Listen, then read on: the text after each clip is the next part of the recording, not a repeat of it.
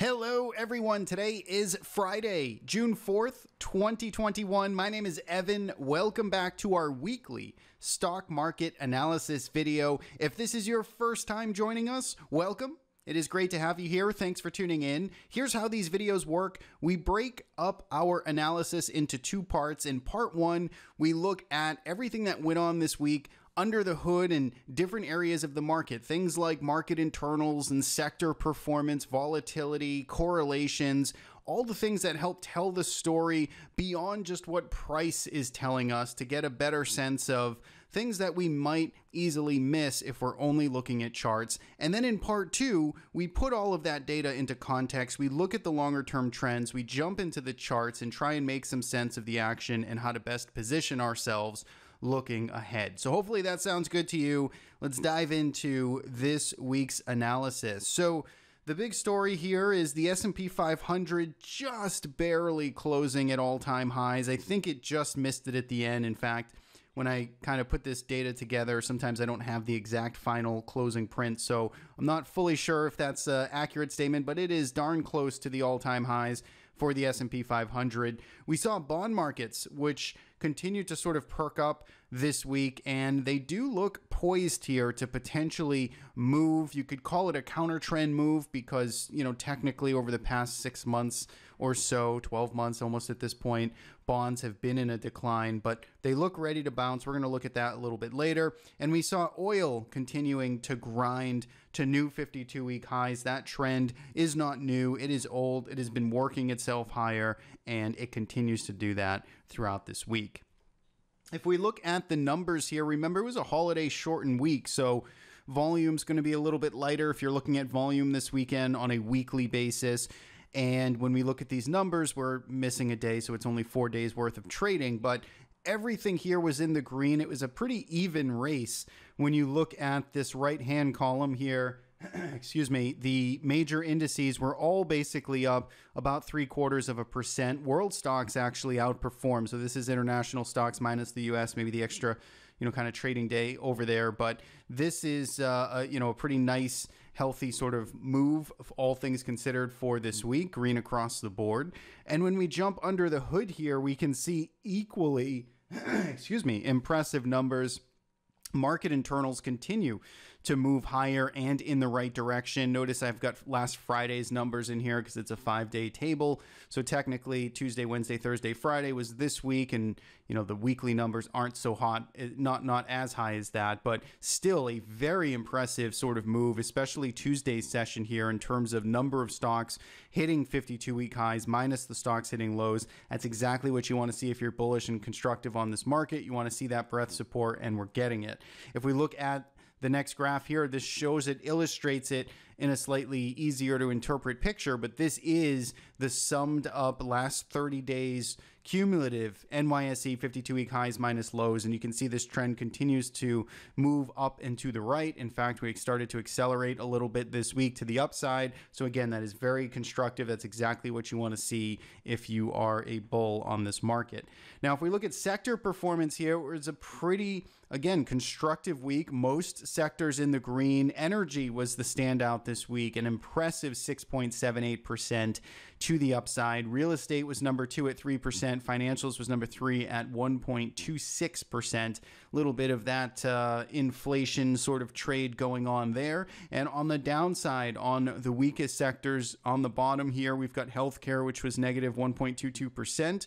Consumer discretionary down 1%, industrials about 0.21% to the upside. If we take a look at correlations, there's kind of two things going on here. The first is what we talked about last week, which was the 10 year yield. So that's this row right down here. You can see that inverse correlation to what yields are doing and what the stock market is doing is still pretty much in play or pretty inversely tightly correlated. I think it weakened a little bit this week, but still we're seeing essentially, you know, bonds go up, stocks go up, yields go up, stocks go down type of thing.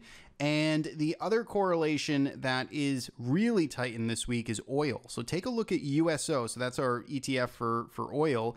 and the commodity and you can see that its movement is basically tracking almost one for one on the movement of the broad averages and so it can sort of be explained and sort of seen through the sector analysis we just looked at, we saw essentially, you know, oil moving higher today, the commodity, or throughout this week. We saw energy stocks really leading the charge to the upside, and that's, of course, spilling over to the influence of the indices. So, oil right now is definitely a trade that is, you know, kind of. Um, leading the market to the upside, even though it's a smaller weight in the cap weighted indices it seems to still be playing a pretty de- decent relationship there. So those are the two tightly correlated, you know, sort of notable cross assets that I'm looking at there is yields and oil, commodity oil.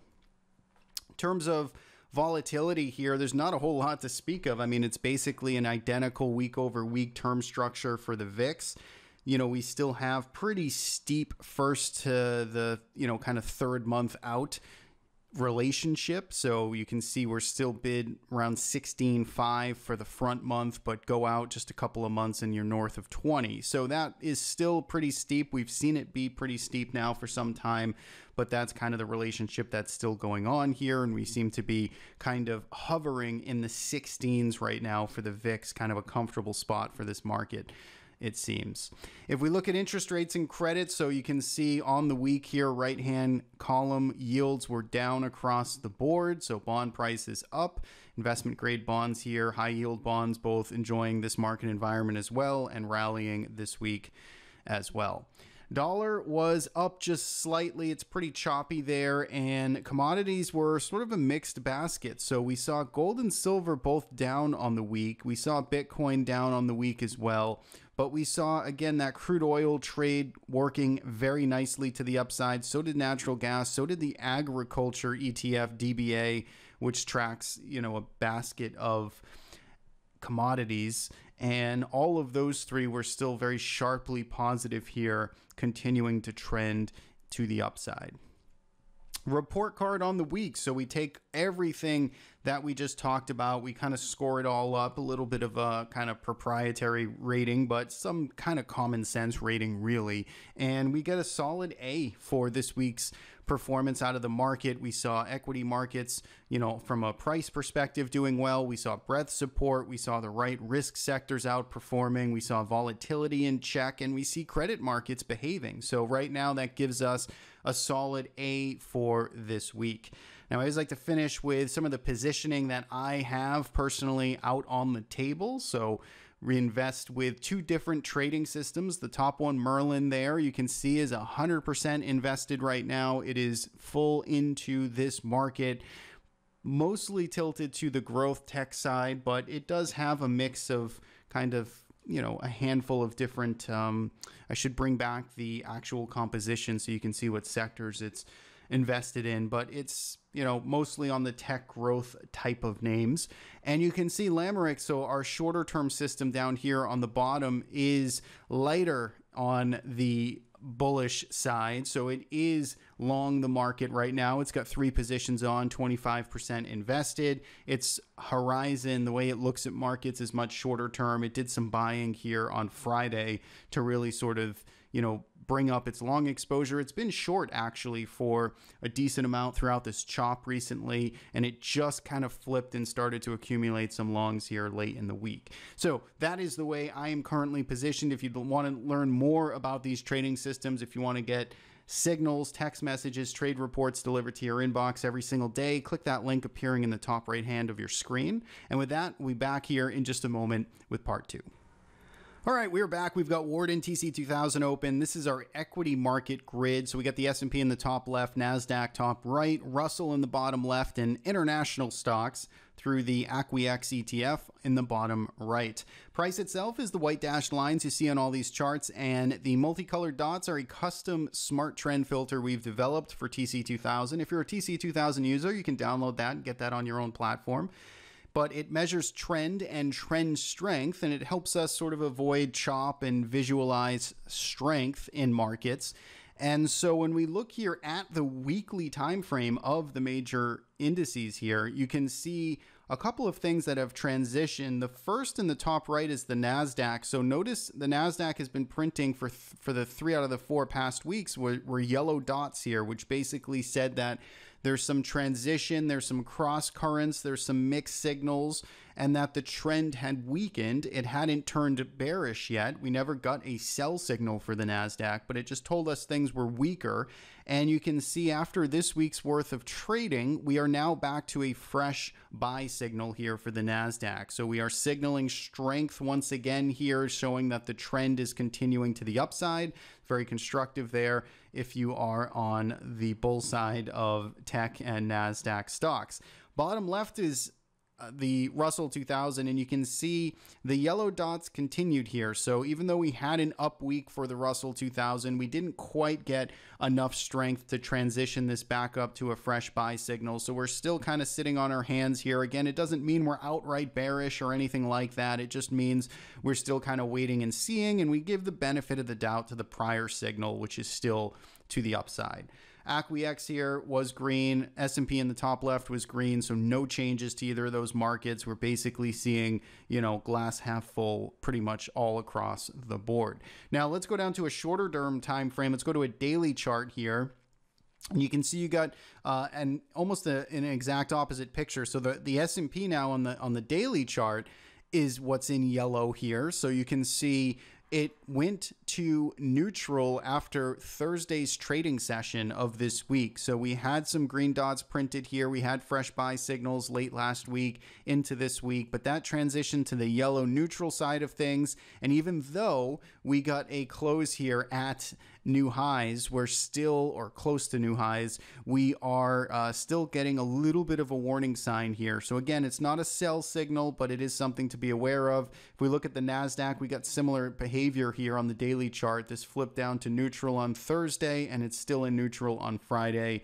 The Russell on the daily, though, this is interesting here, has turned up and is sitting with a nice strong buy signal going on here throughout the whole week. So this is interesting. If this persists, and if we can start lifting out of this range here, then we'll sh- we should expect to see the weekly chart start to flip up for that on the Russell. And if we look at ACWX, you can see that's just been a buy signal. So let's take a look at some of these markets. Just let's look at some candlestick analysis here. Let's get a little bit tighter on our levels and areas we should be paying attention to.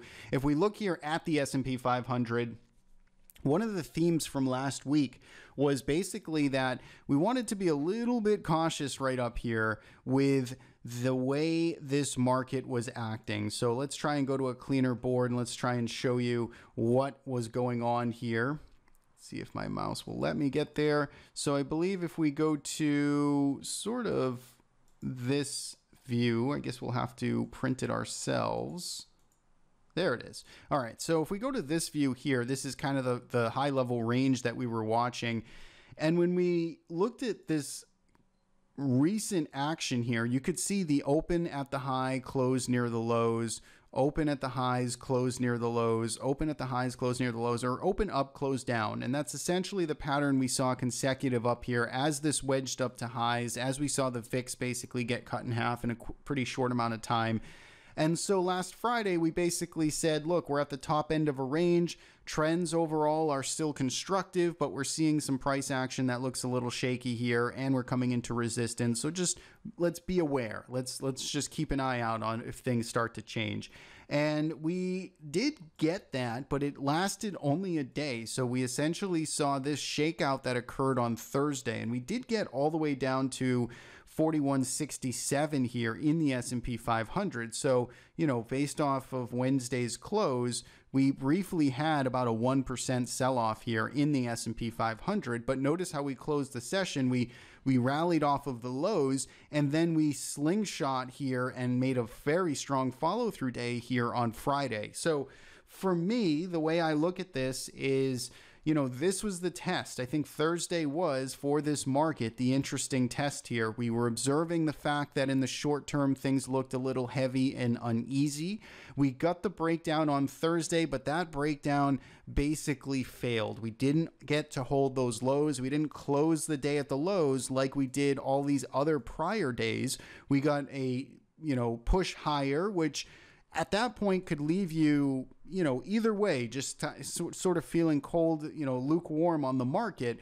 But then after Friday's session, the fact that you got a gap up and just follow through strength day back up towards highs, that I think is where you have to just get back on the bull train and respect the fact that we got this little shakeout and now we're getting follow through. Not quite the breakout of this range yet, but certainly a good sign here and a good sort of higher low to now potentially measure your risk against or to you know draw a line in the sand and basically say look i want to see the market stay above 4167 going forward and that's my level to measure against. So that's the way i'm sort of thinking about this market. I'm back to sort of being more excited about it. We had the little shakeout that seemed like was kind of on the horizon. It lasted just a day, and now we're back to the upside. So next week, we're going to be looking to see if this breakout can get in motion, and that's what I'm going to be paying attention to. If we look at the Russell 2000 here, you can see this is still very much in its choppy state. Really, if you look at things from a very high level, you know, 208 to 234, that's just the area uh, low to high that we have been in for the past five or so months. So until and if that you know breaks out or changes which we're not really close to either one of those points at this time we are still expecting kind of more chop inside of this range. Last but not least the nasdaq 100 here. Once again you can see thursday's action. We got this shakeout in the market. So we saw again you know open high close low open high close low open high close low open high close low and then we ended up getting the shakeout after Wednesday's inside day. We've got the strong follow through day here on Friday. So we're going to be looking to see if we can get this continuation into next week in all these markets. Right now, long term trends are basically all up. Intermediate term trends are all, again, mostly up or neutral to glass half full. Again, when we look at our trend filters that we just went through. And now we have price action that again is supporting a lot of the moves we've been seeing here, at least in the short term. So that's the way I'm looking at this market. Things look pretty good from that perspective. Let's take a look at a few others. Let's take a look at TLT, which I think is interesting. So TLT here had a big day on Friday. So it was up almost 1.4%. And you can pick your bond fund of choice. So you could go to BND, which is Vanguard's total bond market. Take a look at, you know, the big rally we saw, the volume that came in. Take a look at IEF, which is just, you know, the kind of the 10 year government uh, or, you know, essentially government treasuries here. IEF looking good as well and, you know, poised to essentially potentially break out here. We've got this little, you know, kind of bottoming pattern that has been taking place here for the past couple of months and we're getting to the top end of that range right now we, you know, are off of the lows from March, so this has the potential to sort of break out and start to move. So I like all of those moves I've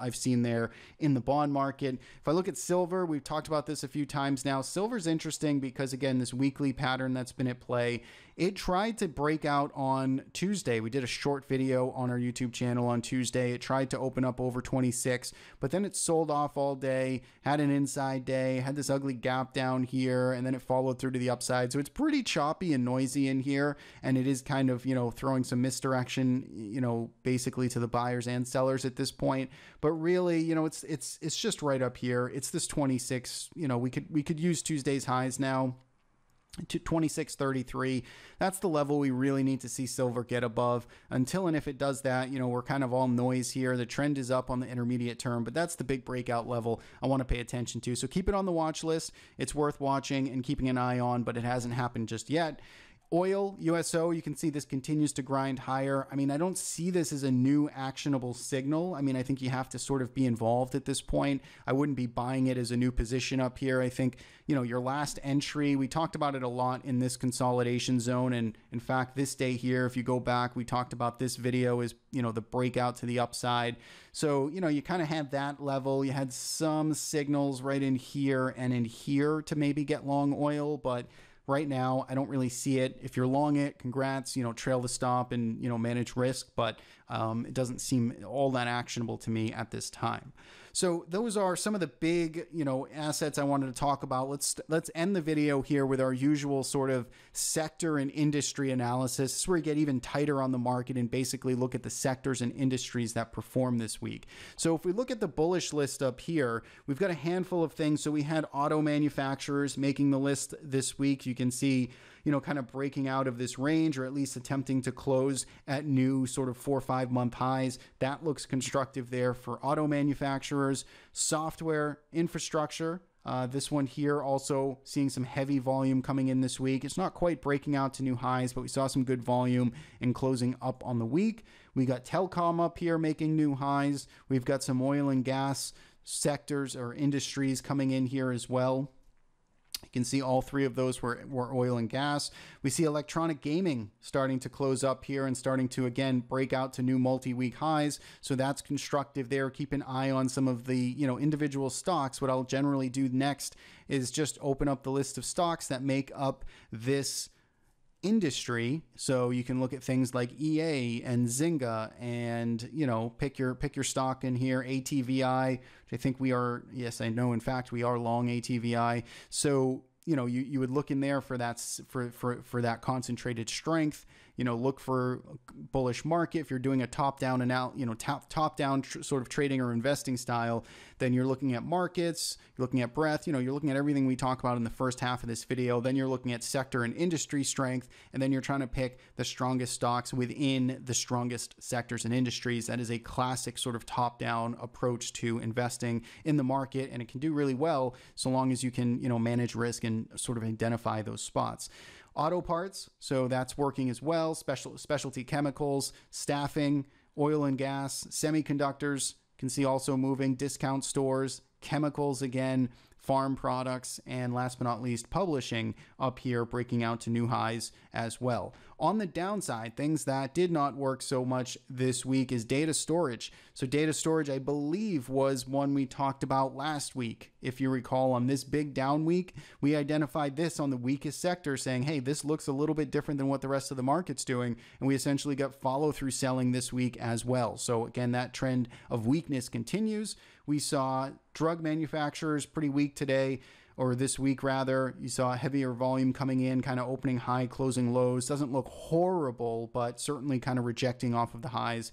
Last but not least is education and training services. This has been in a bearish trend. This has been on the bearish list for quite some time. Continues to sell off here and there's really no change. Probably a little extended to the downside at this point, so the real contrarian dip buyers might be looking at this space now, but uh, this certainly is you know, looking a lot worse than many other areas of this market. So that's it. That is the the full sort of market analysis this week. Let me know what you thought in the comments below. What did you think was important this week? What are you paying attention to? Anything that I missed, please leave a comment below. I'd love to hear what you're up to. And as always, I want to thank you for taking the time, spending a half hour with me each and every week watching these videos. I do appreciate it. You can always subscribe to our YouTube channel to stay up to date with the latest or follow us at the trade risk. Have, have yourself a great weekend. We'll see you back here next week.